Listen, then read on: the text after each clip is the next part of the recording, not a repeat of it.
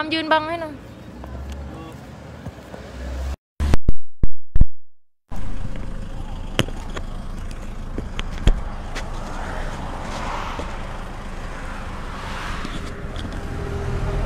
สวัสดีค่ะ ลูกเพจอีจันทุกคนนะคะ สวัสดีค่ะ ตอนนี้เสียงและภาพชัดเจนดีไหมคะ รบกวนเช็คเสียงกับเช็คภาพก่อนนะคะ ถ้าเสียงและภาพชัดเจน รบกวนบอกเราด้วยนะ ตอนนี้นี่ เราก็อยู่ที่ริมถนนนะคะ ริมถนนสามสี่เจ็ดบางปะอินนะคะ จังหวัดพระนครศรีอยุธยาค่ะ เมื่อสักครู่นี้ได้รับรายงานนะคะ ว่าพบชิ้นส่วนมนุษย์นะคะ ถูกเผาแล้วก็ชำแหละทิ้งข้างทาง คือตอนนี้เนี่ยภาพที่เห็นข้างหน้าเนี่ยไม่สามารถแพลนไปให้เห็นได้ชัดเจนนะคะ เพราะว่าทางเจ้าหน้าที่ตำรวจพิสูจน์หลักฐานนะคะ ก็กำลังเก็บหลักฐานอยู่กับทางตำรวจสพบางสพบางปะอินนะคะ ภาพที่อยู่ทางด้านขวานี้นะคะ ซึ่งจุดนี้เนี่ยเป็นจุดอำเภอบางปะอินนะคะ ก่อนหน้านี้เนี่ยก็ได้มีการพบในส่วนของในส่วนของตัวนะคะ อยู่ที่จุดอำเภอวังน้อยนะคะ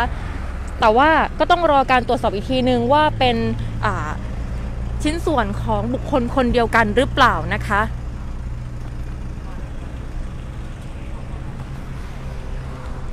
ซึ่งตอนนี้ทางเจ้าหน้าที่เองก็กำลังจะ ทาง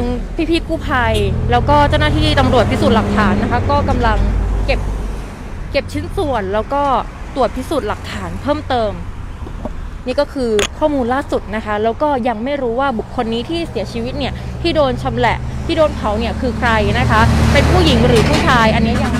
ยังยังมีข้อมูลไม่แน่ชัดนะคะ แล้วก็ใครเป็นคนทำอันนี้ก็ยังไม่ทราบนะคะ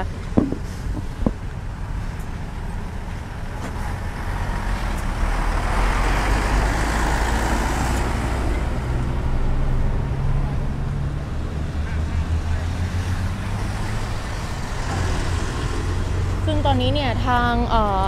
หน่วยกู้ภัยของจังหวัดพระนครศรีอยุธยานะคะ ก็กำลัง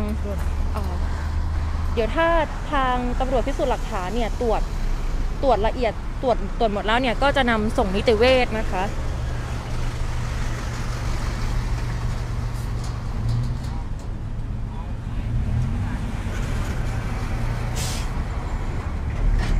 ตอนนี้ให้ดูภาพไกลๆก่อนเนาะเพราะว่าภาพใกล้ๆเนี่ย มัน เดี๋ยวรบกวนเจ้าหน้าที่เจ้าหน้าที่ก็กำลังทำงานอยู่เนาะเดี๋ยวให้ดูภาพไกลๆไปก่อนรอสักครู่นะคะ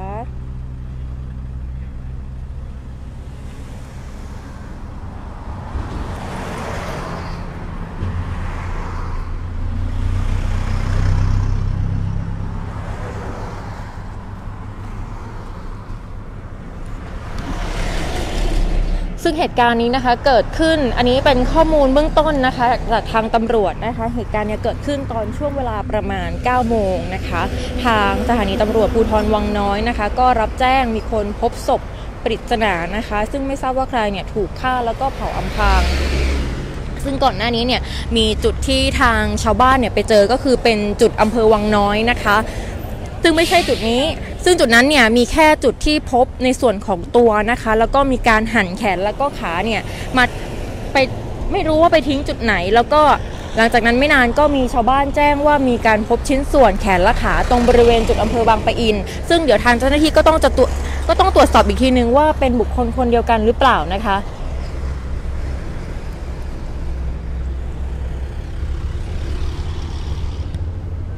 ซึ่งจุดของออำเภอวังน้อยเนี่ยเป็นบริเวณถนนพื้นที่ดินของโครงการบ้านจัดสรรนะคะหมู่อำเภอวังน้อยจังหวัดพระนครศรีอยุธยานะคะ แล้วก็จุดที่พบในส่วนของแขนแล้วก็ขาเนี่ยค่อนข้างที่จะห่างกันมากๆ คนละอำเภอเลยนะคะ เบื้องต้นทางตำรวจก็ได้มีการสันนิษฐานว่าน่าจะเป็น ผู้ชายนะคะอายุประมาณ 25-30 ปี สูง 160-165เซนติเมตรนะคะผิวขาวนะคะ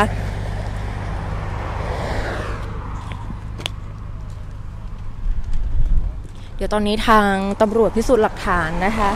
ก็กำลังเก็บหลักฐานเพิ่มเติมเนาะ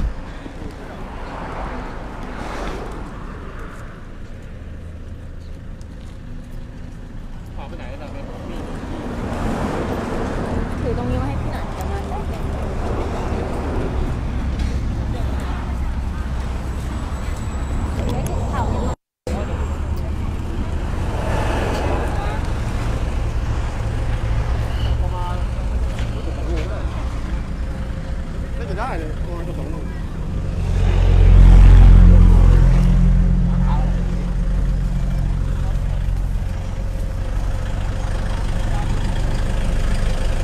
นี่คือ จุดนี้เหรอแล้วว่าเข้าไปตรงนี้เลยเหรอ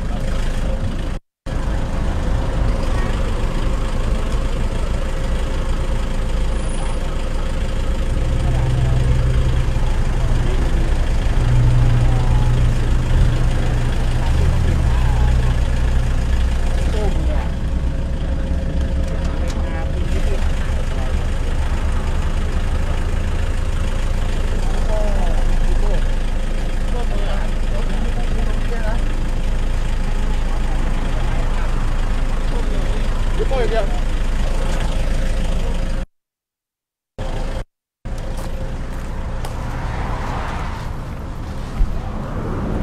ค่ะ อันนี้ก็เป็นพี่กู้ภัยนะคะ จากจังหวัดพระนครศรีอยุธยา เบื้องต้นเนี่ยได้รับแจ้งยังไงครับมาตรวจสอบตรงนี้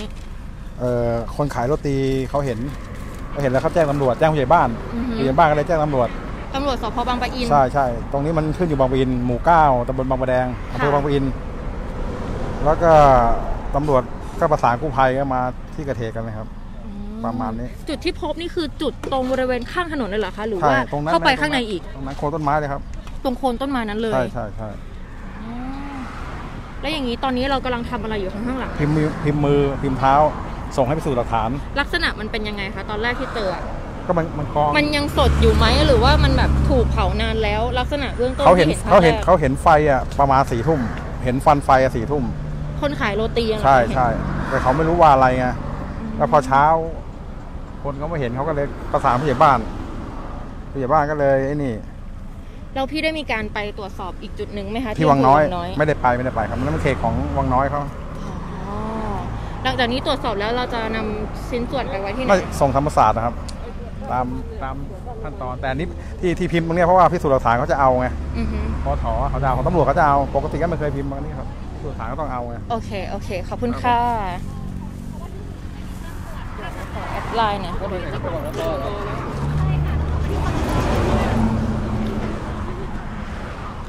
้องถามร้อยเวรเพราะว่าโอ้ยจะต้องคือวัตถุพยานกดให้ร้อยเวร ค่ะตอนนี้เบื้องต้นนะคะก็ทางหน่วยกู้ภัยของจังหวัดอยุธยาพระนครศรีอยุธยานะคะก็ได้ทำการ ช่วยทางเจ้าหน้าที่ตำรวจพิสูจน์หลักฐานนะคะ เก็บลายนิ้วมือเก็บหลักฐานเพิ่มเติมนะคะ ก่อนที่จะนำส่งนิติเวชธรรมศาสตร์นะคะเดี๋ยวรอสักครู่นะคะ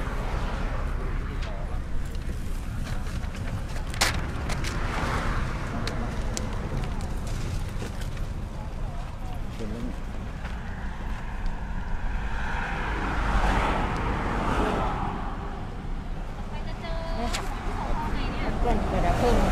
เดี๋ยวส่งให้หนึ่งขอบคุณค่ะ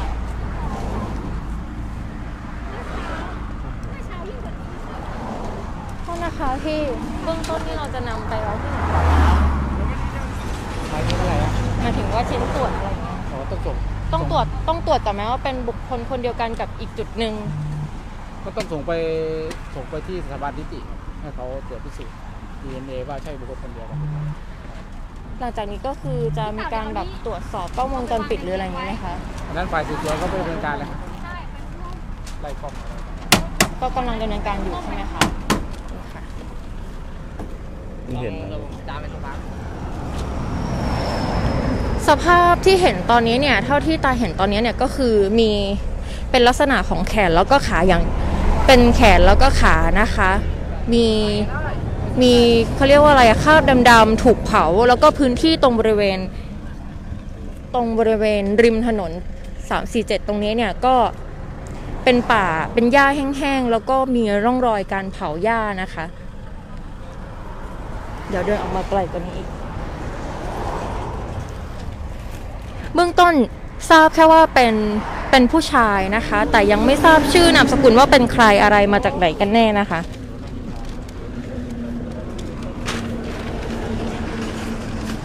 แล้วก็อีกอย่างหนึ่งต้องรอตรวจสอบก่อนว่าเป็นบุคคลคนเดียวกันหรือเปล่ากับจุดที่เจอที่อำเภอวังน้อยนะคะ ซึ่งจุดนั้นเนี่ย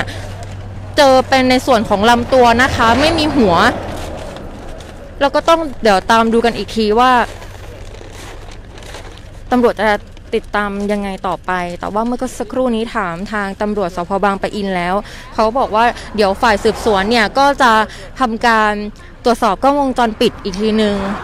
ไล่เรียงลำดับเหตุการณ์ว่ามีบุคคลที่ผ่านมาไปผ่านผ่านไปผ่านมาแถวนี้หรือเปล่านะคะ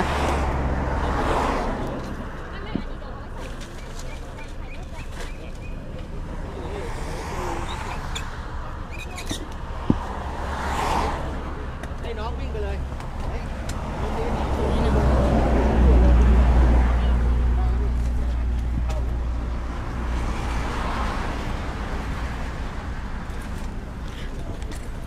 ตรงบริเวณจุดนี้นะคะ ก็เป็นจุดริมถนน 347 ถนนบางอ่อบางปะอินนะคะ พี่ๆกู้ภัยของอยุธยาก็เล่าให้ฟังว่ามีคนขายโรตีเนี่ยในช่วงเวลาตอนกลางคืน เมื่อคืนนี้ตอนประมาณสี่ทุ่มเนี่ยเห็นควันไฟ แต่ก็ไม่ได้แบบดูว่าเป็นควันอะไร แต่ว่าตอนเช้าเนี่ยก็มาเห็นว่ามันมีชิ้นส่วนของมนุษย์นะคะ ถูกทิ้งตรงนี้เขาก็เลยแจ้งไปยังผู้ใหญ่บ้าน แล้วผู้ใหญ่บ้านก็ประสานกับทางตำรวจ แล้วก็ทางกู้ภัยให้ลงพื้นที่มาตรวจสอบค่ะ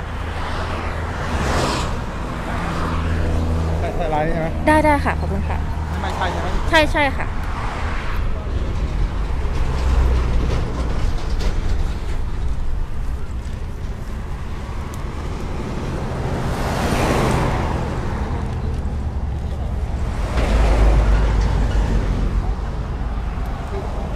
แผ่นพิมพ์มือนี่ เดี๋ยวผมจะส่งเช็คส่งไว้หมดเลยเลย ผมตรวจผมจะขอถ่าย ได้ครับผมอยู่ที่ร้านเรียนสองชุดนะครับ โอ้ได้ขอบคุณมาก ผมเลยสองชุดแล้ว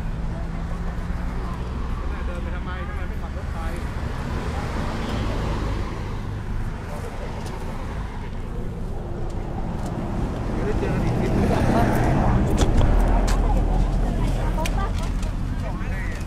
ร้อยเวรเขาบินมาให้ อ๋อได้ได้ค่ะ ส่งไปให้แล้ว ขอบคุณค่ะพี่ขอบคุณมากมากๆค่ะ ร้อยเวร ตอ นนี้ก็ได้นำชิ้นส่วนเนี่ยห่อใส่ผ้าดิบเป็นที่เรียบร้อยแล้วเดี๋ยวก็นำส่งนิติเวชโรงพยาบาลนะคะไปโรงพยาบาลเลยไหมเนี่ยกลับบ้านแล้วไม่มาวีนะไปมาวีนะพี่ได้ไปตรวจสอบตรงจุดวังน้อยไหมอะไม่ได้ไปมันคนละเขตไปเลยครับเอาเอาไปไม่ต้องใช้ไม่ไปเอาผ่านเลยเนี่ยไปน้ำพินก่อนแล้วนี้เราจะไปตรงไหนต่อคะไปไปโรงพักเลยโรงพักพักเลย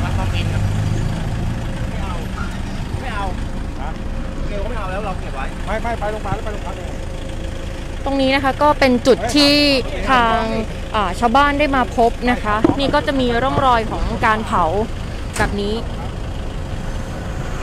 ไม่แน่ใจว่าเผาตรงจุดนี้แล้วมันลามไปนู่นหรือเปล่านะคะ มีร่องรอยของการเผาลามไปประมาณสัก 50 เมตรได้น้ำเดียว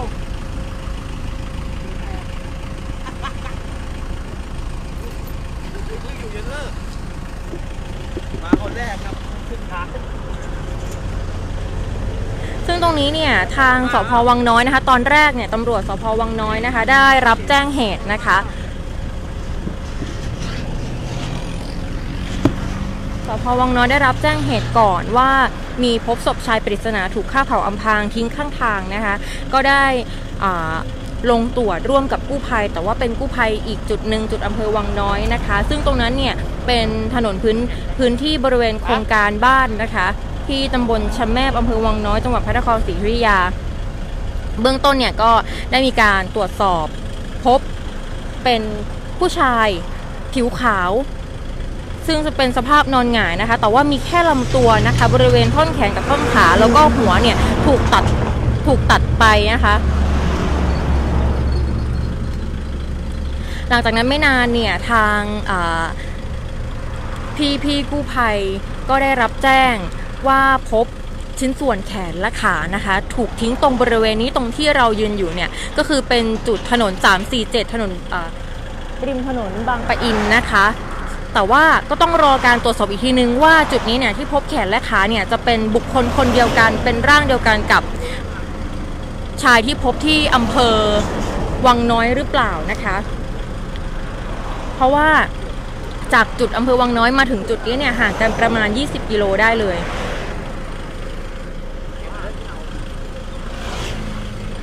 นอกจากนี้เนี่ยบริเวณลำตัวเนี่ยก็ได้มีการตรวจสอบแล้วนะคะ มีบาดแผลที่บริเวณใต้ราวนมขวาด้วย แล้วก็หัวนมด้านขวาเนี่ยถูกตัดทิ้ง สภาพศพเนี่ยก็คือมีร่องรอยของการถูกไฟไหม้ด้วยนะคะ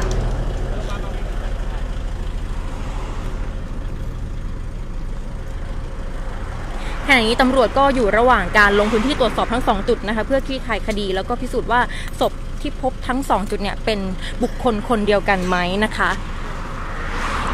ซึ่งตรงนี้เนี่ยเก็บรายละเอียดเก็บอ่าพิสูจน์หลักฐานเก็บชิ้นส่วนแล้วก็ปั๊มลายนิ้วมืออะไรเรียบร้อยแล้วพี่พี่ๆกู้ภัยเขาก็จะนำชิ้นส่วนเนี่ยไปส่งโรงพยาบาลนิติเวชต่อไป ในส่วนของทางนี้เนี่ยก็เจ้าหน้าที่พิสูจน์อ่าเจ้าหน้าที่อ่าตำรวจนะคะพอถอก็กำลังทำหน้าที่อยู่เหมือนกัน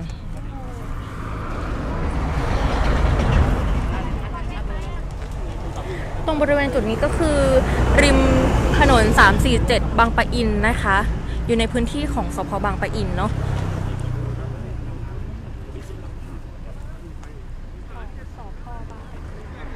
ก็เก็เหมือนกันของครับรอไปแต่เช้าแล้วเก็บชิ้นส่วนเมื่อกี้เก็บเก็บหมดแล้วชิ้นส่วนอยู่บนรถ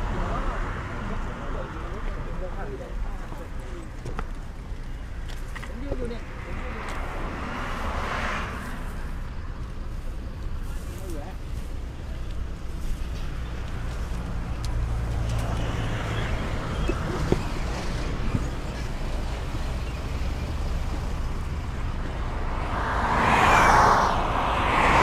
่แน่ใจว่าที่เห็นป้ายโรตีไข่เป็ดตรงนี้เนี่ยเป็นที่ที่พี่กู้ภัยบอกเมื่อสักครู่นี้นะคะ บอกว่า คนขายโรตีเนี่ยเป็นคนเห็นไม่แน่ใจว่าเขาจะเปิดร้านตั้งร้านตรงนี้หรือเปล่าที่ว่าเห็นนะคะ เพราะเมื่อคืนเนี้ยพี่กู้ภัยบอกว่าคนขายโรตีเห็นไฟเห็นควันขึ้นตอนช่วงเวลาประมาณสี่ทุ่มของเมื่อคืนนะคะ แต่ว่าก็ไม่ได้สังเกตอะไรแบบ ไม่ได้เดินเข้าไปดู ว่ามีอะไรหรือเปล่าตรงจุดนั้นจนกระทั่งตอนช่วงเช้าเนี่ยก็ได้แจ้งทางผู้ใหญ่บ้านผู้ใหญ่บ้านก็เลยประสานกับกู้ภัยแล้วก็ตำรวจให้ลงมาดูอีกทีหนึ่งก็ จึงได้พบว่ามันเป็นชิ้นส่วนของแขนแล้วก็ขาของมนุษย์นะคะ ตอนนี้เนี่ยก็อยู่ระหว่างการสืบสวนสอบสวนเพิ่มเติม แล้วก็ ไล่กล้องวงจรปิด ไล่หลักฐานต่างๆ ว่ามีบุคคลอื่น ๆ เนี่ย เข้ามาเกี่ยวข้องตรงบริเวณส่วนนี้หรือเปล่า มีใครเข้ามาทิ้งอะไรหรือเปล่า เดี๋ยวก็ต้องรอติดตามกันอีกทีหนึ่งนะคะว่า คนที่เสียชีวิตเนี่ยเป็นใคร แล้วก็ใครเนี่ยเป็นคนทำ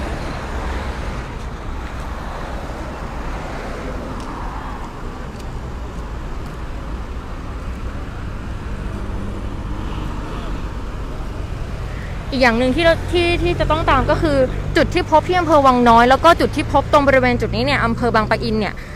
ต้องตรวจสอบว่าเป็นบุคคลคนเดียวกันหรือเปล่านะคะ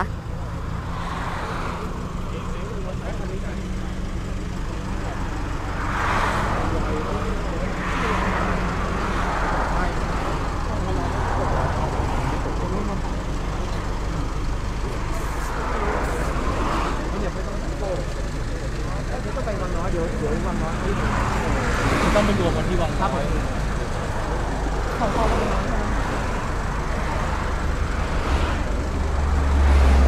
นี่ก็คือ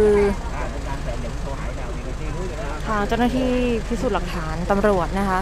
ก็ได้มีการเก็บหลักฐาน แล้วก็เดี๋ยวจะนำทุกๆอย่างเนี่ยข้อมูลทุกอย่างไปรวมที่สพวังน้อยนะคะ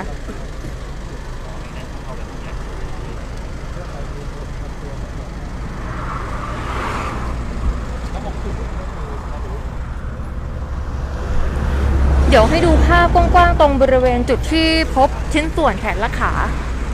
ตรงนู้นเนี่ยก็จะมีร่องรอยของการเผานะคะ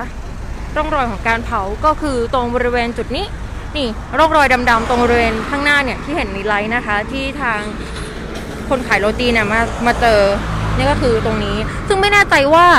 เผาตรงจุดนี้แล้วลามไปถึงนู่นหรือเปล่านะคะ ซึ่งมันแบบเป็นพื้นที่ที่แบบเป็นยาวๆไปนู่น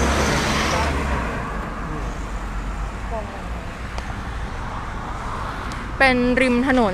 347 นะคะ บางปะอิน แล้วก็เข้าไปข้างในเนี่ยก็จะเป็นทุ่งนาของชาวบ้านละ ตรงนี้ก็เป็นริมถนนใหญ่เลย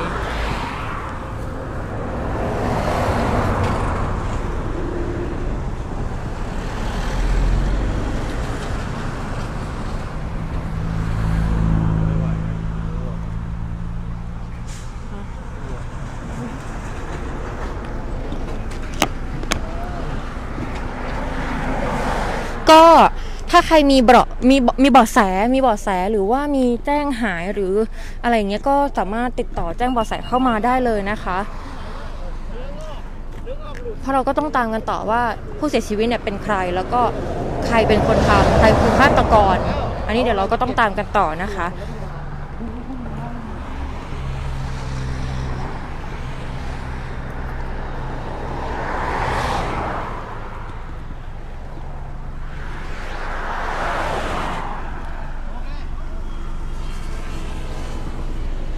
นี่ก็เป็นพื้นที่บริเวณโดยรอบตรงจุดที่พบชิ้นส่วนแขนและขานะคะ